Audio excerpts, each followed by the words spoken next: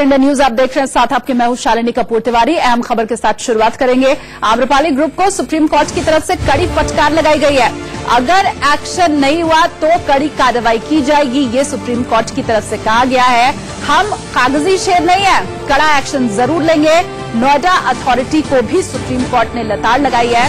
Notice के बावजूद जवाब क्यों नहीं दिया? सुप्रीम कोर्ट की तरफ़ से ये बात पूछी गई और कहा गया है कि हम कागज़ी शेर नहीं है। अगर आप नहीं सुधरे तो ज़रूरी कार्रवाई ज़रूर की जाएगी, अहम खबर इस वक्त की। मेरे सहयोगी आशीष सिन्हा इस वक्त और ज़्यादा जानकारी के साथ जुड़ रहे हैं। आशीष, आम्रपाली ग्रुप के ऊपर एक बार फिर से शिकंजा खस्ता हुआ दिखाई दे रहा है सुप्रीम कोर्ट का। देखिए, सुप्रीम कोर्ट ने आज मामले की सुनवाई के दौरान बड़े साफ़ तौर पे कहा कि हम साक्षी शेर नहीं है, हम ठोस कार्रवाई करेंगे, हम रचनात्मक काम करना चाहते हैं। कोर्ट ने नोएडा ग्रेटर नोएडा अथॉरिटी से दो टूक कहा कि कई नोटिस के बावजूद आपने कोई रिस्पांस नहीं दिया है।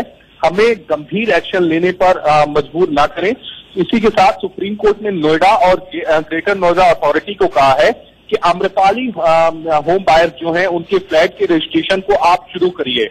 सुप्रीम कोर्ट ने यहाँ तक चेतावनी दे दी कि अगर उनके ऑफिसर ये काम शुरू नहीं करते हैं या तो इसमें किसी भी तरह का देरी करते हैं तो वो सीधे जेल जाएँगे।